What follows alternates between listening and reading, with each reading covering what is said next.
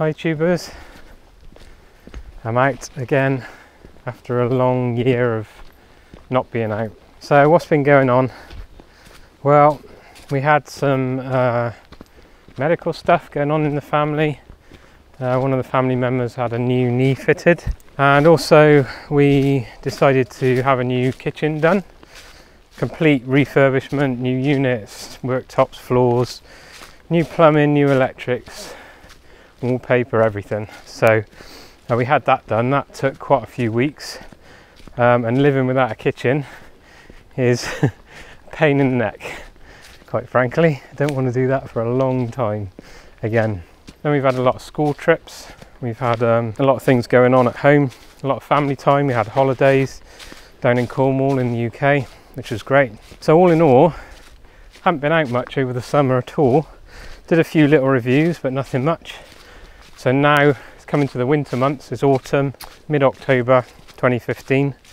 And now's the time that I can get out, go back and do some camping that I love and just uh, explore new things and refresh the soul a little bit. Being cooped in all the time is not me. I need to be out. I'm just doing an overnighter and what I wanted to do, go through the process that I'm going through now with you this is not really a wild camp, although I am camping out, uh, but it's more of a preparation trip, if you like. This is a brand new area for me for camping. I'm deep in the heart of Somerset, southwest of England, uh, on the Mendip Hills, very close to Cheddar Gorge. This is uh, a place I've always wanted to go to. It's got some fairly high peaks, not massive peaks, but good views. Um, looking out over the Mendip Hills and countryside, Somerset Wells is just up the road. Um, and I just thought I'd get to see what this is all about. Just to see what the land's like, see what the walks are like, um, and just uh, explore a little bit. And then once I've done all that, this is also a good way if you're just starting out wild camping or you want to do camping, wild camping, but you're not comfortable with the illegal situation in the UK um, for trespass, etc., because all land is owned except for some specific areas um, in Scotland. And if you just want to get out and experience it a little bit, maybe you're going out with um, your family or some young ones or just on your own, uh, this is one way of doing it. So I found what you do is you go online, look for the area that looks interesting, and you find the cheapest campsite that you can find. And I found this one, which is Mendip Camp. It's a little uh, farm, and it's got some fields, and you can camp here as well. This is uh, quite a wild place to camp. It's not wild camping. This is the the farmhouse there's a field here you can camp on, some slopes, some flat spots. There's a field at the bottom uh, for camping, and then there's a field here which is very flat for camping. Uh, it's five pound a night. It's quite basic, but that's all you want really. And this is the fire pits. You can light fires wherever you want on the grass. They're not bothered at all. Um, just make sure it's out at night over there there's some uh, toilets and running water and that's about it, that's all you get. But if you want to do some wild camping but you're not quite ready to take the leap into the complete wilds then this is a great alternative. If you look on the map, so here we are, Shipham. Uh, this is where Longbottom Farm is where the campsite is. We just walk down this path here we're going here now and this is the West Mendip Way but I'm going to go left across there. Rowberrow Warren fantastic forest. And then out to Beacon Batch which is the highest point in the Mendips. So just to explain what I did um, I had a chat with the, the lady at the camp. Very nice lady. I sorted everything out so I know what I'm doing. Paid up give her all my contact details and what I'm doing, etc. And then I uh, just went off into Cheddar. I normally go to the local village first Uh, got something to eat there. Fantastic fish and chip shops there, without don't. Had a look round Cheddar. Cheddar's a fantastic place if you've never been to Cheddar. I highly recommend it. Ancient caves uh, that were once uh, lived in. After I finished in Cheddar, sorted everything out, got all my provisions, bought an OS map of the site, uh, the area, back to the campsite, and now I'm free to explore. So, checking out this forest just to see is it potential hammock camping, perhaps? Looks pretty amazing. Really raw and you're on your own, never been to a place. You can get really disorientated. Normally, landmarks, sign where the, the sea is, um, significant things stick in your head if you've been to a place a few times. When you go to a new place, it's all uh, it's all a bit strange to start with. So it's best just to get a map, explore a little bit, not too far away, just get a feel for the place, and then you can uh, think about camping. Makes you just want to find a space, put a tarp up, sit down, have a cup of tea. Now you notice I've only got a small backpack.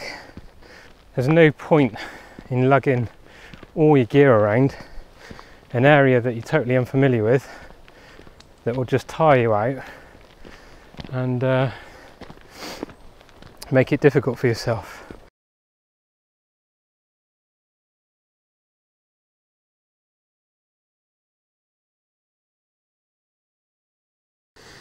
So, time for some food and drink. Just going to go over a few things. I've got a little table here, you can just see in the picture.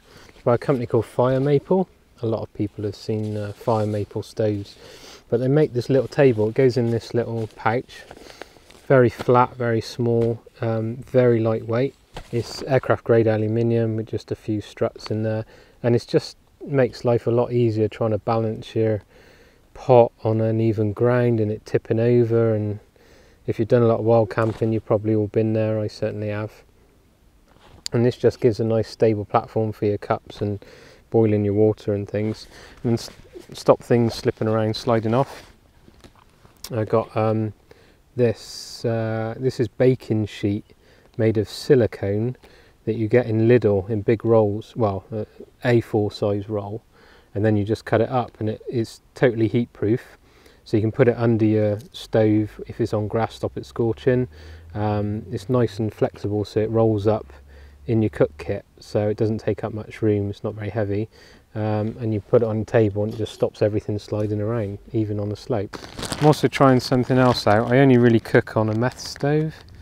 I quite like the idea of gas and how fast it is and everything but I'm not really into uh, the noise it makes and I'm never in a hurry. So whether it it boils in you know three minutes four minutes five and a half minutes or six minutes which is a trangia um, it doesn't bother me because I'm I'm going nowhere. I'm just enjoying the enjoying the day. Trying something new. This is bioethanol. This is not meths. You can buy it in B&Q or other DIY stores and they use it for um, like indoor fires now so excellent for trangias. So you haven't got the smell of meths, you just got kind of an alcoholy, alcoholy smell, which is not too bad. Um, and it's, it's supposed to burn hotter and cleaner than meths. Seen another video, if it's really, really cold and you want to light your trangia and you're having trouble, then just uh, put a little bit of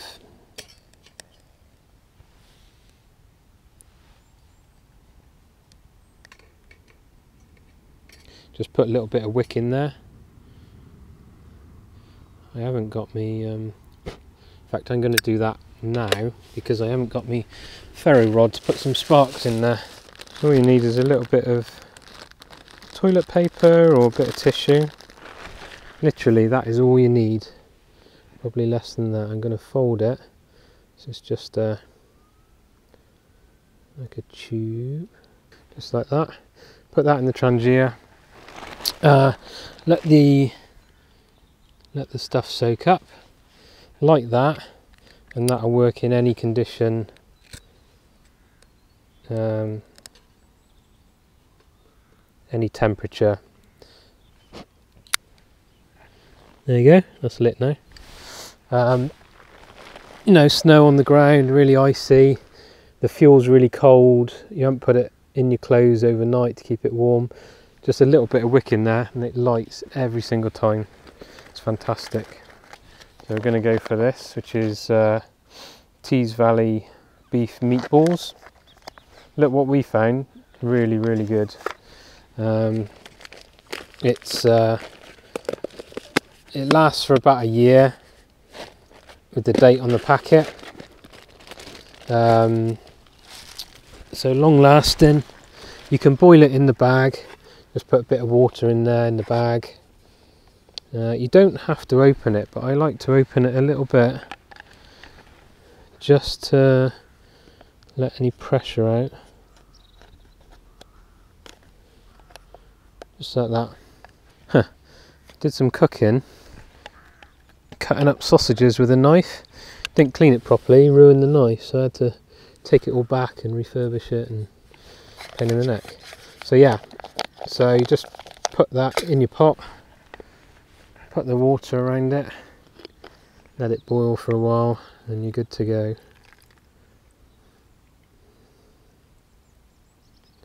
Then the water uh, that you boiled it in.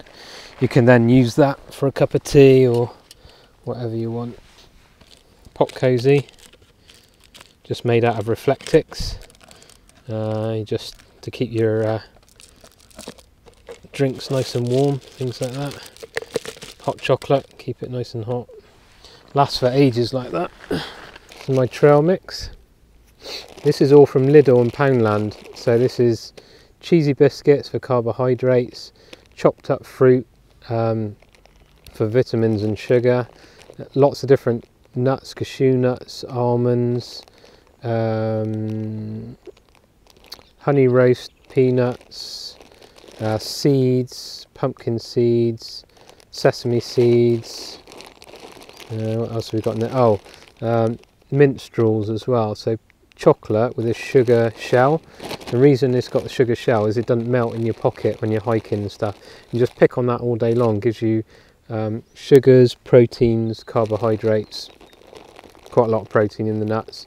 So suppresses hunger, keeps you going all day basically. I've been through one of those today and that's uh, either pick on tonight or save it for tomorrow, depending on what I'm doing tomorrow. Not sure yet. Cup of tea ready, I think. Not been too bad at all today. I've not really had a coat on today, just a jumper and t-shirt underneath. I've got um, merino wool thermals for tonight. Just uh, I've never tried merino wool before thermals, but I know they're good. So uh, we'll see how that goes. Well, that's brewing something else on uh, camp hygiene. so what do you do when there's no toilet block? Luckily, I've got a toilet over there. Got to dig a cat hole, uh, six inches into the ground, about six inches uh, diameter. And you go in there, do your thing, and cover it all back up. When you use your paper, just light your paper and burn your paper when you're finished. Um, cover it all up. I use a wet wipe as well. Um, but to dig the hole, you need something to dig with. So recently, I've got one of these. This is called the Deuce of Spades. It's an aircraft aluminium, ultra lightweight spade. Um, it weighs 17 grams. It's super, super light. Um, pretty strong. And I've tried digging with it, obviously, and it's fine. I think I'd wear, I got a leather glove that I use for hot um, food. So I'd use that if it's really hard ground, stony ground. But generally, it's, it's all right in the hand, doesn't really hurt the hand. Use that side if it's really uh, difficult to get in. So you just push that in and then that side to, to dig it out and clear it out. And that's the depth of the hole you need and the diameter of the hole, which is handy. Um, yeah, really good. I really like these. I got it from America. Uh, the guy's really nice. Chat to the guy and he'll, he'll sort you out over there. Called the Deuce of Spades. It's thetentlab.com if you want to have a look. Really nice bit of kit. It's uh, much, much lighter than uh, anything else I've been using recently. So that's saving quite a bit of weight in my kit. I did have a folding trowel from, I think it's from Poundland. Um, but compared to compared to this, it weighs a ton. So uh, just wrap it all up. So in there is tissue. Um, what else is in there? Tissue. There's a lighter to light it with, wet wipe, and uh, the trowel in separate bags, and just the bungee cord just to keep it together. So that's a good lightweight addition, I think, to the camp gear. Something I got the other day. It's worth a look. Rigor. This is in B&Q in the UK. You can see how small it crushes down. And this is a down coat, a down jacket. Comes in a nice Pertex stuff sack. Um, it's really good. It's a mid layer, so it's not super, super warm, uh, but it's a mid layer. You wear it uh, underneath your Gore-Tex jacket normally, or some sort of waterproof outer if it's raining. And it's uh, it is really really nice bit of kit. Now normally you'd pay quite a lot of money for a down jacket. So normally you pay 60 70 pound for a jacket like this. Um, a good quality one with a known brand and this one was 25 pound in B&Q so you can't go wrong with that now it's quite promotional stuff when the stock's gone it's gone um, so if it's not in your local B&Q and you're interested in it, there's a very similar one in Sainsbury's, black down jacket. Um, again, £25. I think actually the Sainsbury's one is a little bit um, a little bit better quality in terms of zips and things like that from what I've seen. I'm not sure if it's got as much down in it or the quality of the down, but uh, if you want a down jacket that's cheap just to get you through the winter or whatever, then uh, £25 Sainsbury's if uh, B&Q don't have any. So, yeah, really good buy. Titanium Foon from Alpkit. Really good for these bags because the bags are quite deep, so you need quite a long handled spoon to get in them. Um, so yeah, well worth uh, a few extra pounds. I was talking before about um, blisters and things like that using zinc, zinc oxide tape. That's the zinc oxide tape. So it's very flexible. It adheres to skin really well. It's good for putting over your feet. You can put it directly on your feet um, before you start if you know the hot spots where you might get blisters and things. Um, so that's a good tip to pre prevention really rather than cure, which is better. Something else I do as a ritual most nights is uh, treat your feet a little bit because they've been in boots all day probably. Um, so I dry them off, make sure they're all completely dry. Um, you can use, you know, the alcohol gel rub for your hands and face. Um, well, your hands mainly. You can use that on your feet. So you rub the alcohol gel into your feet and it will kill off all bacteria on your feet. So any sweat bacteria and things like that uh, kills all that off. Um, so once you've done the alcohol rub, make sure your feet are completely dry. Then I use this athlete's foot powder. Now I don't have athlete's foot or anything like that. Um, it's got antifungal chemical in it, which is also antibacterial, but it's stronger than antibacteria uh, chemicals. Um, so just put that on your feet, rub, massage your feet with the powder on um, every night before you go to bed. And it does several things. A, it takes care of your feet and your skin on your feet. Make sure they're nice and dry and not damp going into your sleeping bag. Kills off any fungal or bacteria that you got on there, uh, along with the, the gel that you put on. Uh, massaging the feet with this um, also stimulates blood flow to the feet so your feet warm up and just spend a few minutes uh, massaging your feet with the stuff and you get nice warm feet dry feet um, and fresh going into your sleeping bag at night so I do that most nights usually wear a pair of socks in the um, sleeping bag to keep warm Um, but yeah, so that's a little tip if you sleep with cold feet or you've got issues and things like that. It's really important to take care of. So it's a good trick. They use um, antifungal and bacterial um, powder when people are spending a long time in the jungle, very damp conditions. When you when you're damp all the time, it's very important then to use it. Um, otherwise, you will end up having problems. Another thing, Reflectix silver foil mylar with bubble in between. It doesn't pop because it's in between the mylar. Uh, I've just edged this, put some loops on. But this is great for sitting on. Um, keeps the cold from the ground coming up through to you. Uh, obviously, it's waterproof. Put it under your feet in a hammock if you want to keep uh, the heat reflected back in there. Um, loads and loads of uses. So just a bit of Reflectix in your bag. Uh, it's a good, good useful idea. So it's been boiling for a good five minutes now. It's getting pretty dark.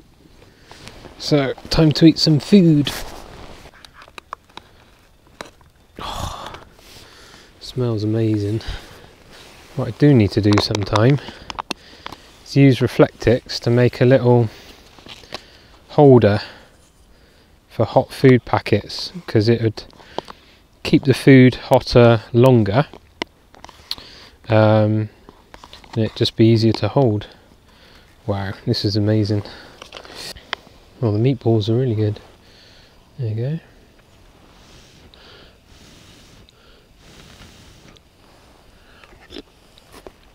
Mm. Oh my god.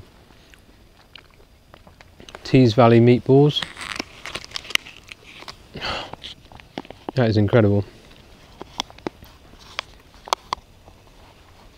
Loving that. Quite a lot of liquid in there though. So you could easily add some rice in that and cook it. Um, or if you've got a spoon or a foon like this, it's ideal.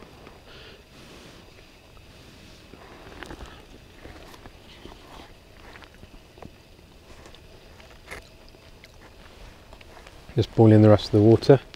I really like to boil, boil water with the lid on really. much more efficient. You can't do it with a bag in there. Everything tastes a lot better when you're outside in the wild. I don't know why. Maybe it's because you've been hiking all day or. I don't know. Really impressed with the bioethanol. Lights well. It's very clean burn. Not much marking on the pot, I don't think. It's so quiet. I'm not used to it this quiet. I'm used to owls screeching and deer screeching and foxes. I got some of their curries as well. They got some good curries, so I'm gonna try those. If I'm out for more than a few days, then I'll go light and go. Um, I don't know if you can see me. I'll go lightweight and have sort of dried food but just out for a couple of nights then definitely go for the wet food this is why I like camping in the winter because you can always get warm there's always ways to get warm there's no midges no flies all of this would be attracting all sorts of things uh, in the summer okay so I'm in the tent now all uh, all sorted I'll tell you what, this tent you can sit up, get changed, get all organised, no problem at all. It's just the perfect size, I think. Big Agnes Fly Creek 2 spec size is, is perfect. Maybe even a 3 if they got it light enough. But uh, This is something I made. This is like a super, super gossamer fine ripstop nylon in white. It's translucent. And then I got a torch. It's really nice. I really like it. It mean, makes the aperture of the light much bigger.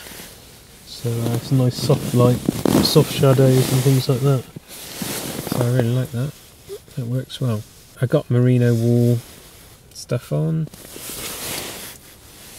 I haven't worn it before, but it's really warm and it's super light and small to pack, so uh, it's definitely going to add a bit of warmth to the sleeping bag. It's not cold though, to be honest. It's um, well, 13 degrees outside, well, in the tent.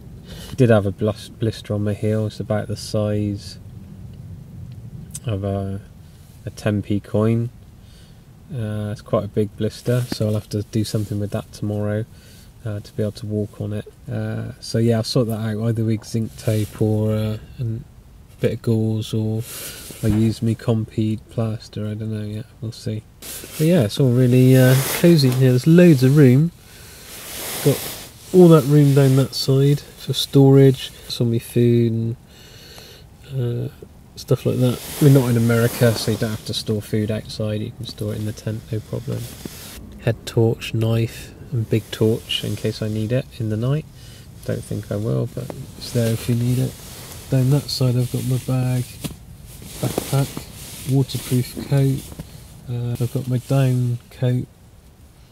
Um, you can put that on inside the bag, probably be best, or you can zip it up you can put it over your feet if your feet are cold, though mine are really warm at the moment. Um, I've got a wool hat in there if I need it, but I don't usually wear a hat. Because once I've got this done up and cinched up, it provides all the warmth you need on your head anyway. So uh, I tend to, to like not wearing a hat at night. Side tie outs have given a very big space between the inner and the outer. Um, so that's really handy in the morning if you get any condensation. That'll be interesting to see because there's no air vents in this tent. Uh, I got a book to read, Ray Mears' uh, biography. I haven't finished that yet, so I only read it when I'm out camping and doing other bits and pieces. And then that'll be it for me tonight. So I'll let you know how it goes. This is feeling really good at the moment. I really like this. This really does help with the warmth and things, so that's really good. Charge all my gear up. I'm just using this one at the moment. Uh, it's by Kodak. You buy it in the Shell garage, uh, the Sainsbury's petrol station sometimes, and it's just uh, like a a lipstick type bar. Um, quite good. One cable charges this, or this charges your device, which is quite good. It's not very high capacity, but it will charge my phone completely once, so this is kind of in my day bag all the time. These are little organizer bags that I made. It's ripstop nylon. It's not treated, so it's not waterproof. With the tags at either end, and then it's lined as well with like a very lightweight cotton. So yeah, really like those. Quite easy to make.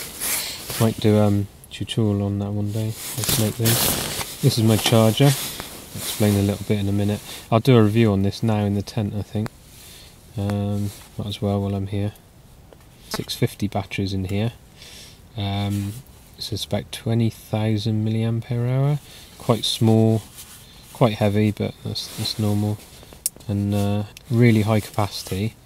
Um, but lots of advantages. Can you just replace the batteries inside? So I'm just going to do a little review on that while I'm here. Um, so I'll do that on a separate video. Uh, a few little other things. I uh, I've made a sleeping bag liner. I had a cotton one. Um, if you get a choice, don't go for a cotton one. The silk ones are probably the best. A bit more expensive, but very lightweight, packable, very good. Sometimes the size is a bit of an issue on the silk because they're expensive, so I just make sure it's the size you want. For this one, I've made one out of this stuff which is cotton voile. It's probably the finest weave cotton you can get. It's very, very light, uh, probably finer than silk, um, and just keeps your sleeping bag clean. But I made it bigger than the size of the sleeping bag, so there's no restriction inside, which I really like. So um, yeah, that's what I've done for a sleeping bag liner. Keeps it all clean. Uh, the other thing is pillows. Uh, it's a lumbar support pillow, so it's for the base of your back. Um, I thought it'd be quite good as a pillow for camping. It's alright, it's not too bad, it's not the best pillow in the world. I like it a bit bigger and thicker really, so your head's up a little bit higher. Um, so it's not really that great, it is £2 or something, it's really cheap. Uh, blow, up, blow up pillow. I've yet to find a good pillow. I've heard the Sea to Summit ones are really good, so um, give that a go. I usually just roll up a coat or a down coat's quite good um, in a dry bag. So we've now got 12.1 degrees in the tent and 31 degrees C in the sleeping bag. So that's perfect for me. That's about the right temperature. That's it for me tonight. Going to read my book, Crash Out. I might sleep in a bit in the morning. We'll see how the uh, see how the night goes. But uh, yeah, so I'll see you in the morning. Cheers. Good morning. It's uh, about half past seven in the morning.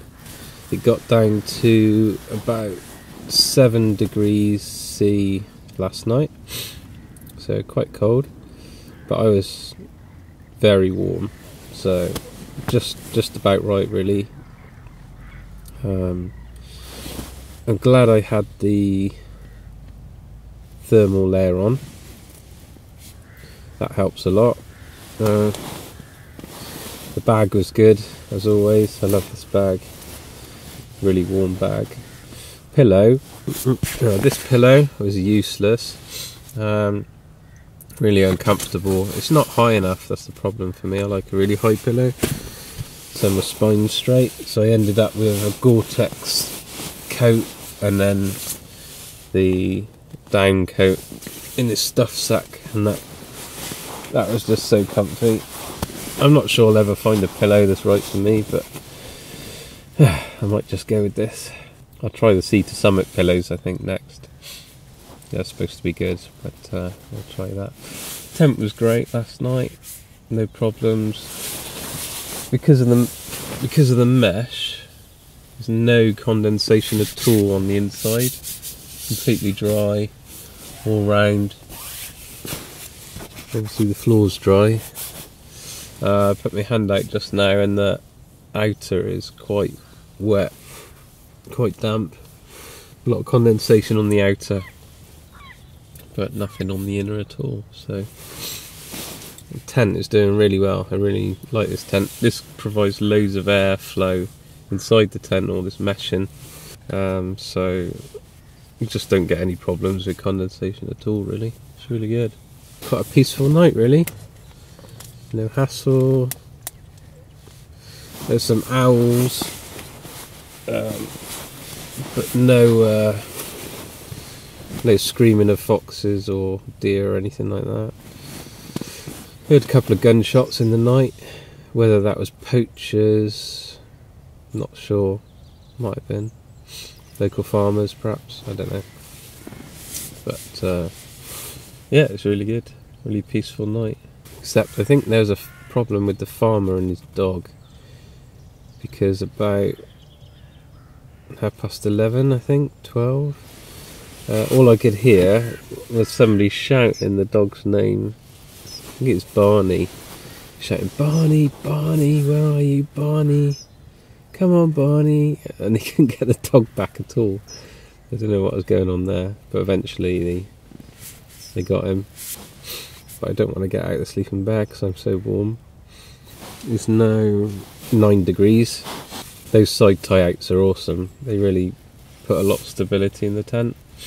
So I'm not worried about this in, in all weathers now, really. You can see how much room there is in the vestibule. Enough room for boots. You could put your bag out there if you wanted. Got my cooking stuff there. Just getting the brew on. Get some porridge going. That'll warm me up. Got these extra big porridge pots now. I really like. They're a bit bulky, but it's just easy, convenient. Got plenty of room in your bag, then it's quite handy. That bioethanol is really good. I really like it. Smell like meths, but it burns very well, very hot, quite a long time. Just as good as meth does.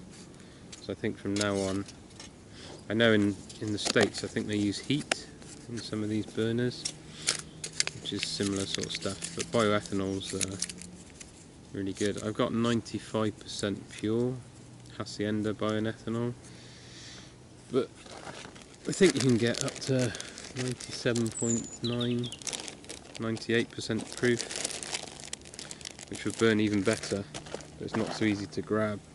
This you can just get in B&Q, so that's easy just down the road. So I got all the video done I need to do yesterday, so it's just a case of chilling out, packing up and heading home I think, this morning. Should be camping all throughout the winter this year. I look forward to getting out in some real hopefully we get snow because I want to go out camping in the snow. So we'll see.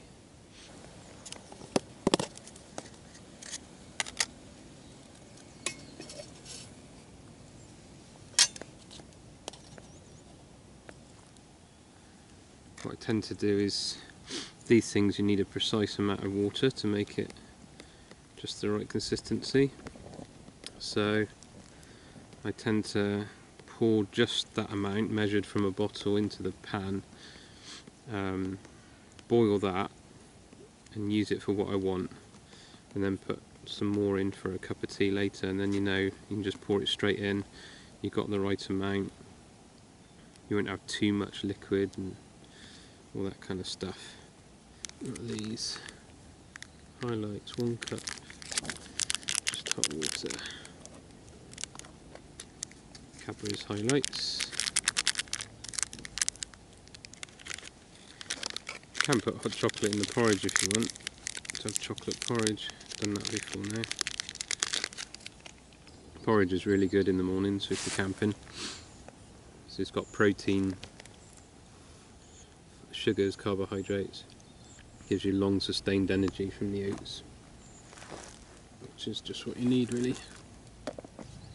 I don't. When I'm out on alone, I don't think I'll ever cook on uh, gas again. I think I'll only uh, cook on meths or an open fire now.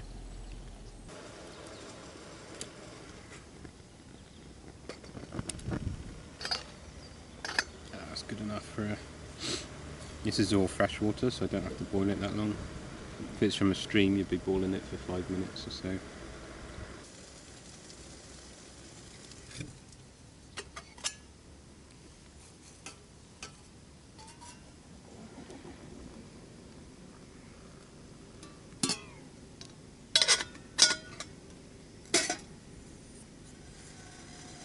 Although you can leave fuel in the Trangia, um, I tend not to because they they are known to leak. So I just rather not chance it. I just boil it away every time.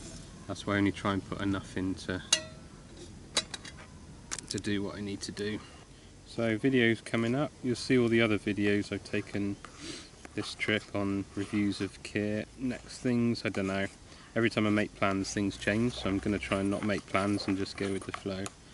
Probably do a little bit more DIY modding and sewing videos, how to service a machine, how to make a stuff sack or something like that for people who are interested. That'll stay hot now for about an hour. These handles, it's titanium pot, but these handles stay cool even when it's boiling so you don't need uh, gloves or mitts or anything like that. Definitely going to bring this table all the time now. This is the first time out with it and it's uh, it's been really great. These Alpkit titanium pots done me proud. Really robust, really light. Get everything in there that you want. This is a 900ml one. Yeah. So this is the end of uh, the wild camp. Thanks for watching. Uh, loads of videos will be going on the channel pretty soon, so uh, see you out again on the next one. Cheers, bye.